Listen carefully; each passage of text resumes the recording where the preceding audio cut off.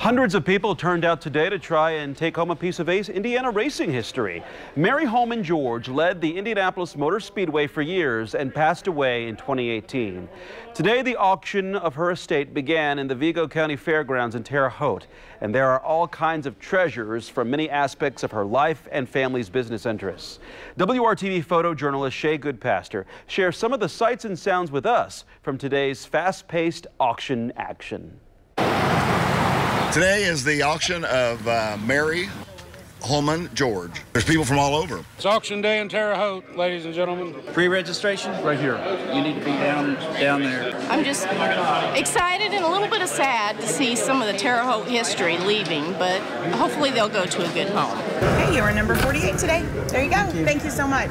You're number 59. Thank awesome. You. Thank you. My name is Zach Burgess. I'm with Burgess Auctions. I'm an auctioneer at the uh, Mari Hulman, George Estate Auction. $100. Now two.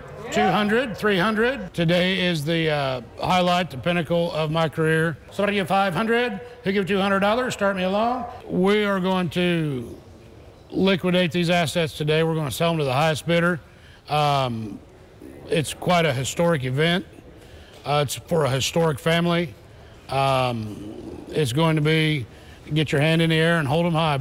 We're gonna we're gonna sell it to you, and you're you're gonna take it home at 900, 950, at 900, 950, at 950 thousand dollars. I'm honored and proud to be part of this historic event for a, a historic family and organization here in uh, the Wabash Valley, uh, an important family to Terre Haute. Indianapolis, and Indiana. 200, 300. At it been a $300. At two, another break of three, four. It's a beautiful day for an auction. It a $400. At three, another break of four, four, four, four, 300, 350. At 300, 3. Sights and sounds there. Bidding wrapped up for the day at 5 o'clock, but the action continues tomorrow at the Vigo County Fairgrounds in Terre Haute. Doors open at 8. The auction resumes at 10, and if they don't get through everything tomorrow, it will continue into Sunday. This sale is being conducted in person only. There is no online bidding. A lot of things up for grabs there.